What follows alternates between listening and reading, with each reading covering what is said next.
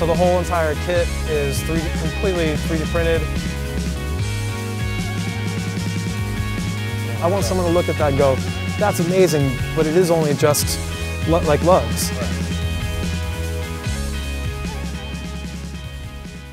What's going on, everybody? Nick D'Virgilio hanging out with Dan Pawlovich of Panic at the Disco at the Nationwide Arena in Columbus, Ohio. Nicely done.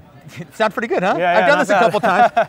and Dan has been uh, just cool enough to show us his brand new SJC kit and the rest of his rig. They're sound checking here at the uh, for the gig tonight, so we got to go do, go through this quickly. but you have an Quickly awesome, and calmly. Totally. We got this. We got it. you have an awesome new drum kit. yeah. Please tell the folks what's going on with your kit because it's different than pretty much anything else out there. Yeah, you're the first person uh, officially that we're really kind of like talking about it uh, with. Uh, so the whole entire kit is 3D, completely 3D printed, uh, except for the hoops. So listen, we were just listening to your, your drum tech. Give us your drum tech's name again. Casey Irvin. Casey Irvin. Thank was- you, Casey. Thank you, Casey, man. You were he was you know sound checking the drums. Crushes it. I think he hits them harder than I do. Well, and you could you could you could tell the drums sound full and round like drums Oh, should. yeah, yeah, for sure. Yeah. So yeah, go up and you know show us some stuff around your kit. You have a lot of great stuff up there. The, these beautiful Zildjian cymbals, the amazing Remo heads, Roland TM2. Uh, we got a Porter and Davies kicker seat here. Yeah. I all would your say, all your DW hardware and pedals. Yes, all DW, on DW hardware, extended footboards on the double pedals. Right. Um, just, you know, lo- love it all. Couldn't do it without every everybody involved for sure. But basically, we we took pretty stock um, uh, threaded inserts that you can find anywhere. They're just Right. hexagonal inserts, right? right. And I designed a channel that you could see from the outside. And those inserts would just slide in and they're just sticking out the top and you're good to go. It's just, just like any other like drum lug, Lug, pretty much, right. right? But obviously the, the lugs are part of the shell. So, so all of these lugs, every single lug you see on this kit is completely part of the shell, printed at one time. It comes out of the machine like that. There's some support material on there, but they can, they can pop all that off within a few minutes. Um, but the challenge, one of the challenges this time, next to printing an entire kit, was a different design of how those threaded inserts are installed. And it's used, uh, it's a process called heat set or heat sink Okay. inserts, which is basically you take a brass part or some sort of metal part, and you can take a basic soldering iron, you stick it in, uh, in or touch it to the metal part, uh, and as you just rest it on the plastic, it slowly melts the plastic and kind of seeps in there, and all the all the goopy Wow. plastic kind of falls in. A, there's a bunch of geometry going on with these things Wow. that makes it lock in harder, which is a, another huge complicated topic. Each one of these we tested up to 500 pounds, all the different designs we did, and every single one broke the plastic before the insert had any problem. Okay. And uh, we also tested the most ridiculous uh, tuning of a snare that could ever be done, and we were getting around 175 pounds at the most. But my friend who took those measurements was saying no one in the right mind would ever tune a snare that tight. Um, so we're talking about well beyond marching snare tensions and stuff like that. Um, so 500, so beyond 500 pounds for every single one of these, we're not worried about them Sure. at all, right? Um, yeah, so so uh, basically, a, a friend of mine, Bernie Solo, who I met pretty recently, actually Mike from SJC introduced me to him. Okay. He has a, he has a, uh, his own shop in Michigan. Uh, he actually came to the show last night in Detroit. Okay. He handmade in his shop every single one of these 88, I believe 88 inserts, plus extra. Took them, I believe, 25 to 30 minutes per to make Wow.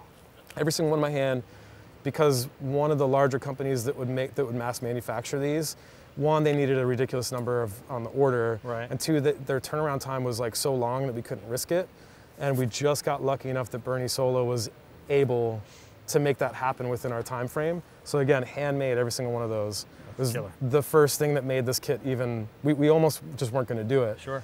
um, and he made that whole thing possible. So thank you, Bernie. Um, and that was that was right around the time that me and Mike just started discussing this. And Mike from SJC has always been extremely supportive of this 3D drums thing. Okay. Even though I'm not.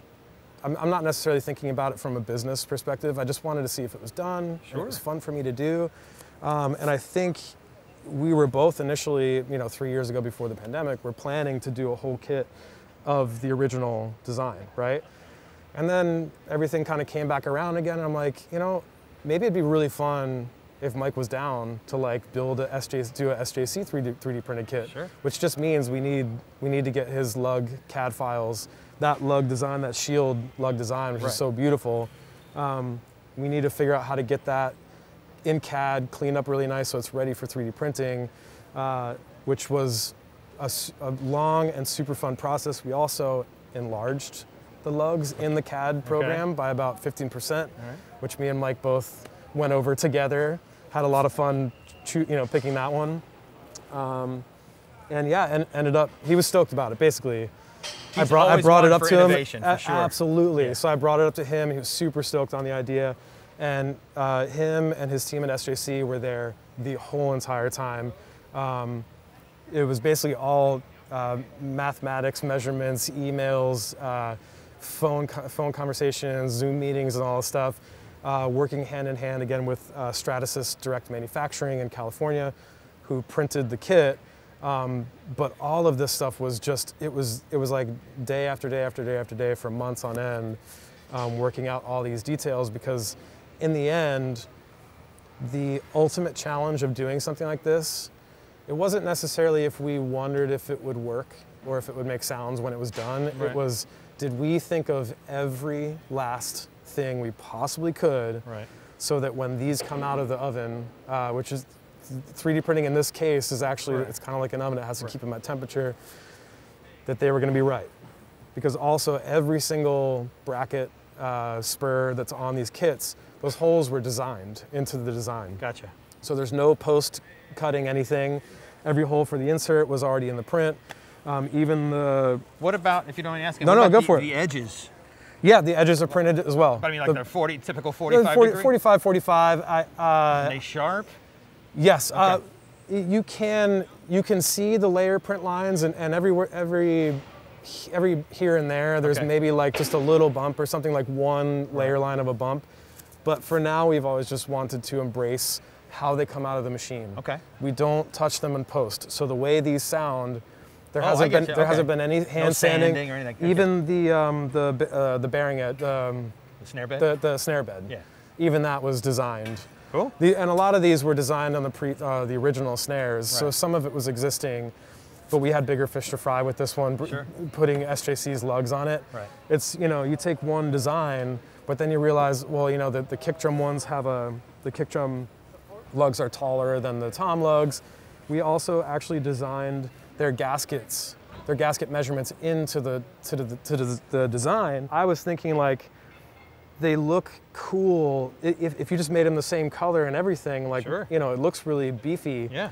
um, pretty cool. So, any nice, perfect timing.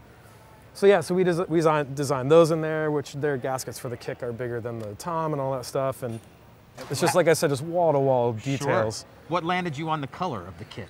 So I, uh, when we, it was funny because we didn't think about that until the very end. Okay. Uh, but then when I started getting down to it, it's like, well, what colors of filament do we have available? Um, red was obviously one of them. It's pretty much just simple rainbow colors. Okay. the, the world is your oyster with other types of printing, but with this FDM style of printing, your colors are more limited for now. Um, but I, I've always been a huge fan of that the the anti, uh, kind of antique Duco. Sure. Duco that's- design? Yeah, you bet. So you got your black and gold and uh, your uh, blue and silver stuff like that, and then there's some kits you can find that are the red and gold, which I've always been a huge fan of. We lucked out that the ASA filament was a darker red, but this is that's a good question because this is um, the red is all the color of the filament. So none of the red on this kit is actually the paint. Um, and then the, the gold the gold was done. Actually, that's another crazy thing about the print too is like when the factory in uh, Valencia, uh, Stratasys Direct Manufacturing, when they were done printing them, we had to ship them right off. I mean, everything next day air to SJC on the East Coast Okay. to their to their facility, so they could uh, put everything to uh, do the paint, put everything together, um, and then eventually, well, actually sound test them. They also sound test them, which was awesome. they were the first ones to hear it, actually, which was funny. Uh, before I even ever Right. heard the drums, like SJC heard them on the East Coast. Um, so yeah, so they, they put the paint on, they did the hoops, uh, shipped it back to us just in time for a few rehearsal days, and then we came you right out went. here and did the whole thing. Yeah, That's awesome, man. yeah, Well, what a cool thing. It's a really unique drum kit to check out. I can't wait to hear it in the, in the room tonight at the show. It looks awesome. Your mic setup. You have a very typical mic setup. A lot of Shure mics here. You have SM7B in between your Yep. your floor and yeah, your right snare. down here. I'm taking think that to get some of the crack of the snare drum. Uh, you, you know? it's that's more of like we. Uh, I think people in studios are technically are they're normally calling that like the crotch mic or the crush mic. Right. Um, it picks up A little bit of everything. everything, They okay. they hit it. They tend to hit it so hard with like some sort of limiting, like an 1176 or something. Right. It gets a lot of character, and that's one of those things you just kind of blend in. I gotcha. A very little bit. And what about your your over your head mic here? Yes, the Shure. Uh, what do we got here? VP88. I love this Shure mic because it's uh, um, it's all mid-side, and it has a, dec- a mid-side decoder inside the microphone, and you can do like a, a wide spread. It's it's basically how how loud that side signal I believe is turned up. You have three options. Right. Or you can do raw mid-side, which has to be decoded at the board. We just do like the middle setting on uh, the, the pre-decoded side, so he just gets a stereo Okay. um, uh, stereo uh, signal. But what's so cool about it is because it's all mid-side, it's completely mono-compatible. So anyone, anywhere who is hearing any of this mic, it doesn't matter where they are in the venue. Oh, okay. It'll, it, they'll hear the same thing. And if you're in a sweet spot, you'll hear it in perfect stereo. Yeah. But otherwise, it collapses into perfect mono. Cool. It's killer, man. Yeah, it's so fun. It's so fun. I mean, this is like it's like a like a ro- robot kit with all these microphones and 3D printed and all this crazy stuff going on. You know. Yeah, it's, sort of so, it's high so tech. fun. Yeah, good. It's, it's But I mean, the whole show is so big too. Like, sure. oh my gosh. Sometimes I- I'll just like walk around and like look at like a box that has 20 cables coming out of it that aren't microphone cables, 20 switches on it. People will be like, you shouldn't be touching that, but um, it's just crazy. Like, think about every single cable that has to be hooked up Right. and working for a show like this to Oh, happen. yeah, and- Unreal. And they, you guys just played last night in Detroit, so they know how to. yeah, it's crazy. They, they know yeah. how to tear, yeah. set it up, tear it down immediately. Uh, you're doing a few triggering bits. You have a rolling pedal and a couple of things. So Yeah, that's the, some- the some KT10. sounds? Yeah. we're using the TM2, which is funny. There's there's there's only the two uh, ins, Right. right?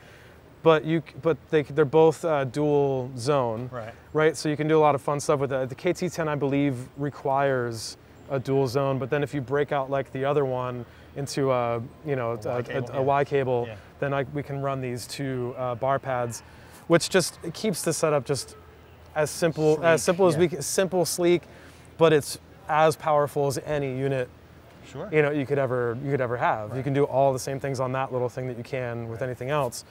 And also one night we had the kick head broke like this was years ago, and we realized that night how long it takes to change a kick head during a show. But yeah. Really long, right? It's crazy. We, we started coming up with that happen to me we started we started coming up with new ideas based off of that night.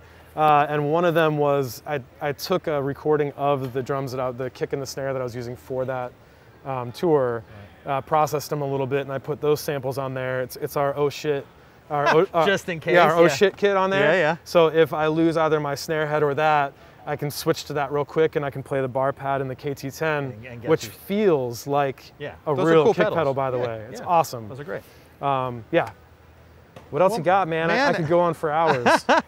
No, that's it. That's, we just wanted to see this new, really cool kit. It's obviously a one of a kind, unique thing. yeah. Thanks so much for spending the time and getting into the details with this. I mean, it's SJC is always like on the cutting edge of stuff. It's, it's cool to talk to Mike. Absolutely. He always just has so much excitement when he talks about his drums. Yep. And and and working with the artists directly, like yourself. You know, he really kind of Oh, I'm so it. lucky, man. Yeah, I mean, really me, cool me and. Mike were like back and forth. Like it was like text basis. Yeah. Sometimes we'd have like 30 texts in a day Sure. trying to figure this thing out. But Mike, like I said, has been nothing but supportive the whole killer. entire time with this, and I couldn't be happier to like be working with SJC on something that it, that is so cutting edge. Sure. At, at times it was crazy too, thinking about what we were we were doing, and it, I'm seeing all their other kits rolling out, all these gorgeous kits, like super creative kits, and we're working on this 3D printed kit that otherwise is just like a traditional kit. Right. All that we wanted to accomplish was to to prove that it can be done and hang with any kit that's ever been made before. From there. I- I believe Mike would feel the same way. Is we want to see what the feedback is and what other people think of because I want are. someone to look at that and go, "That's amazing," but it is only just lu- like lugs. Right. From there, you could imagine anything could be printed on Sure. there. You know, So Well, cool, man. Thanks Yeah. so much. I know you got to get thank going. Thank you and It's time Sweetwater your for, the rig rundown. Yeah, of course, man. It's Can't wait to so sick. I love rig rundowns. Awesome. Yeah, heck yeah. And awesome. can't wait for the show tonight. Thank you so much, brother. Thank you, brother.